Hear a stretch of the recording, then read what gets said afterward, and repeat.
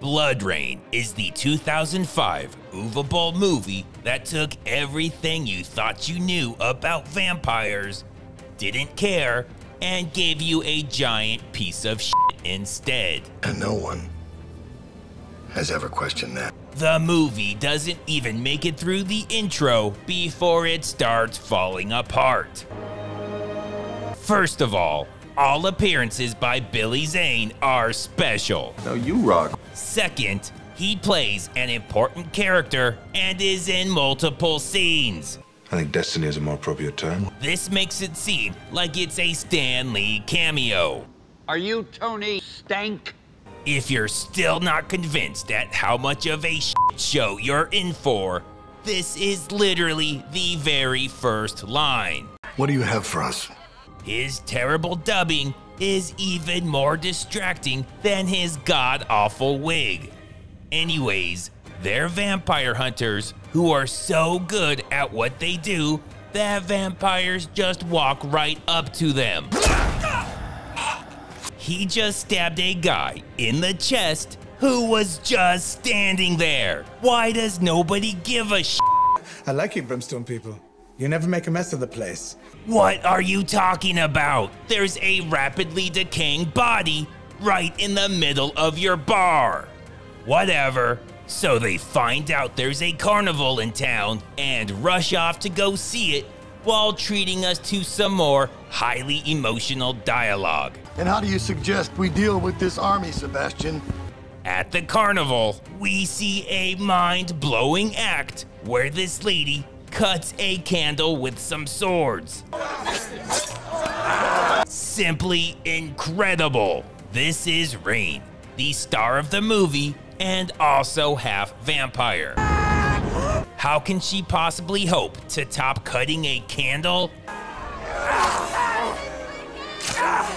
Oh my god! Anyways, Rayne gets sick of starring in medieval jackass, so she breaks out and murders the fuck out of everyone.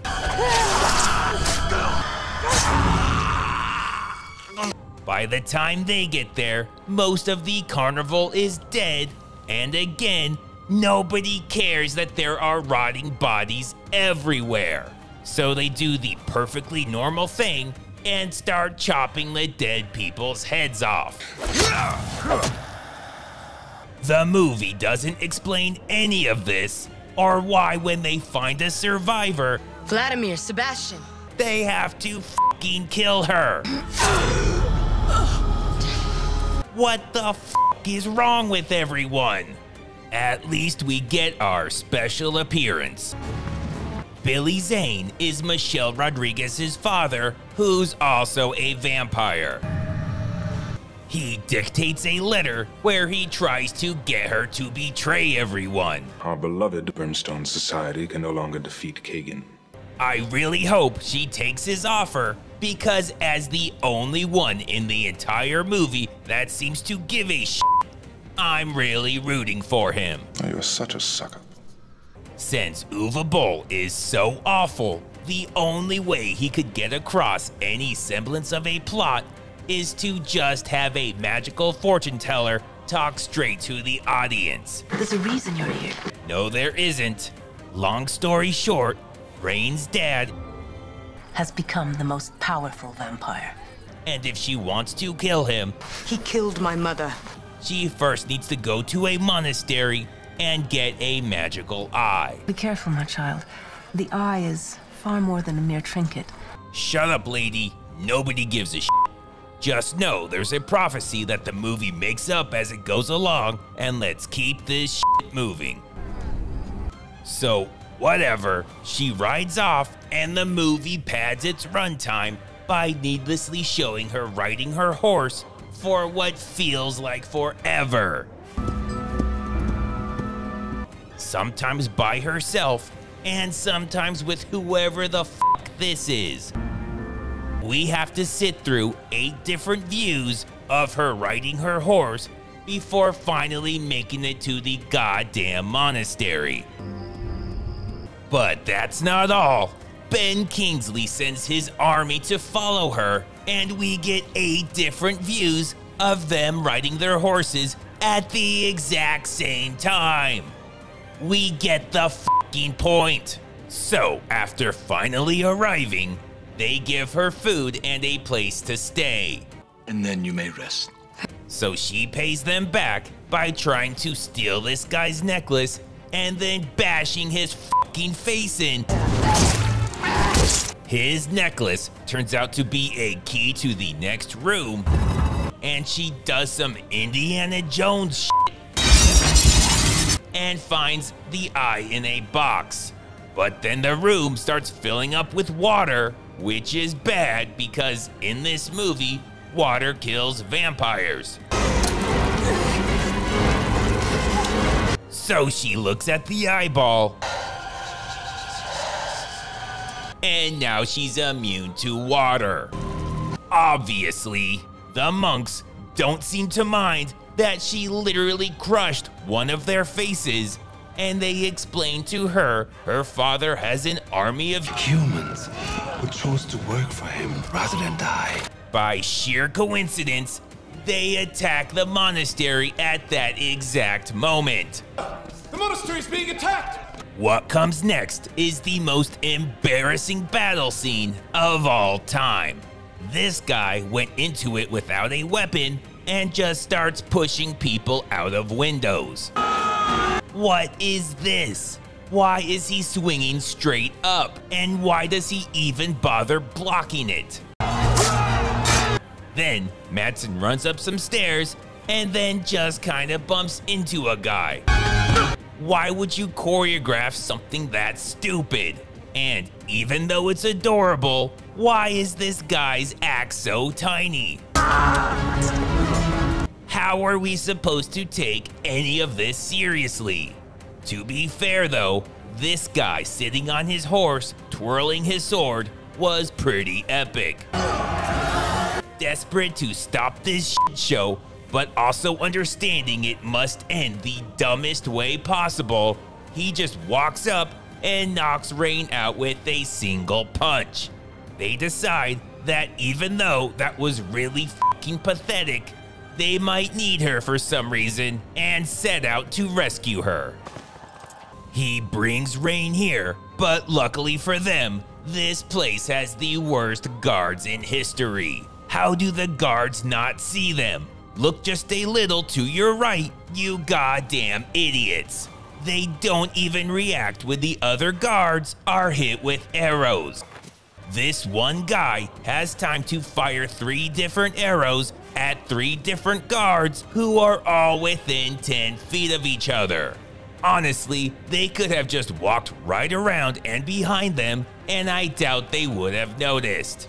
Anyways, this is the home of Meatloaf, who's a powerful vampire. Mightiest of all vampires. What? No, not even close. He's a complete freak show, and the movie never explains why they even brought her here.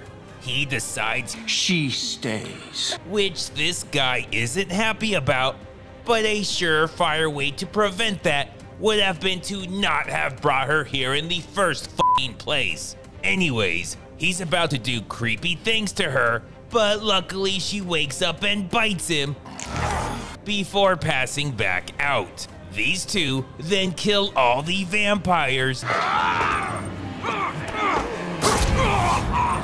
And if you haven't noticed by now, vampires are pretty weak. Like, really fucking weak. I really don't understand how they're a threat to anything. So they rescue her, and even though she's unconscious, she somehow runs to the horses with them. And after a lot more goddamn horse riding, it's now nighttime and she's still unconscious.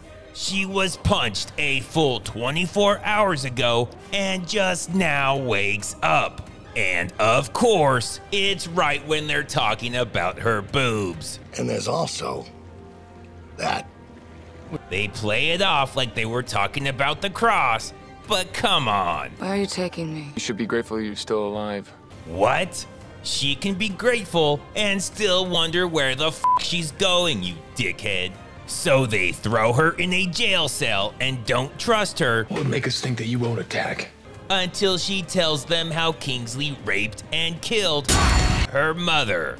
After that total downer, she trains with them, and we get a training montage of her going from being terrible to still being terrible. Now that that's out of the way, this guy's been pretty quiet, but he wants everyone to know that he's a fucking idiot too. First, he forgets she's a vampire and invites her to dinner. You're more than welcome to join us for dinner. Then, when she reminds him, I don't think the food you have there will be of interest to me. he cops a fucking attitude. You act as though you're the only one who feels pain. What? She doesn't eat food, dipshit. What does that have to do with feeling pain? He one ups her in the being fucked up department, though. My mother and father were both killed by Vladimir. They had turned, and I was to be slaughtered. which she finds hot as hell. Which brings up a deep question Can a movie that's been an incoherent mess the entire time go off the rails? The answer is who fucking cares? Let's move on. Rodriguez is pissed that Rayne's getting all the attention, It seems you've become very popular, Rayne. so she does what any rational woman would do and betrays everybody and slaughters the entire village. Now we get another special appearance when this guy throws a severed head at Zane. We never learn who this is or why he does that, but he's actually more annoyed by the piece of paper. Stop throwing things at me. Zane tries to get him to betray Kingsley, Unseat Kagan and join me.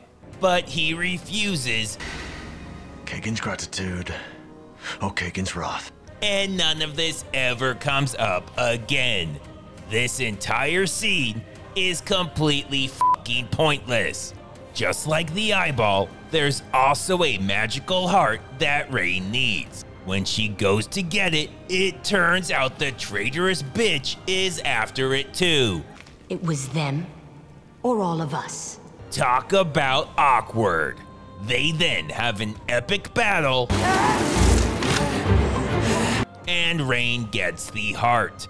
Now that she has the heart, she's ready to face her father.